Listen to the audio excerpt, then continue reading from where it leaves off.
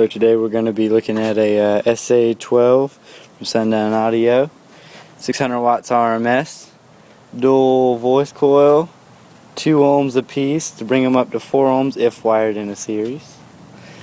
Um, we got the the leads are down on the spider here.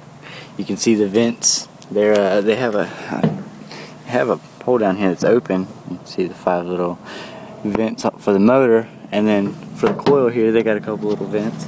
You can actually see the coil up in there. You can see that little uh, brownish looking deal going on. Nice four spoke basket. It's very very thick actually. Probably too thick to be honest with you. And um, it's nice nice cone. It's not just some cheap you know paper cone. It's thick. Uh, you can't even bend it with your fingers really to be honest. Like if you reach up in here and try to bend it it won't bend and uh, nice dust cap going on here.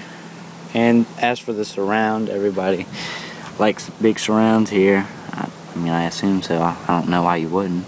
It's definitely um, threaded on there which is awesome. I mean like you just cannot like these speakers are built to take some power.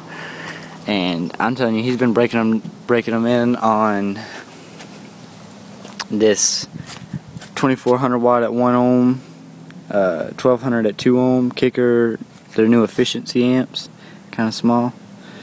Um, so they're definitely broken in, and they're still hard to push down and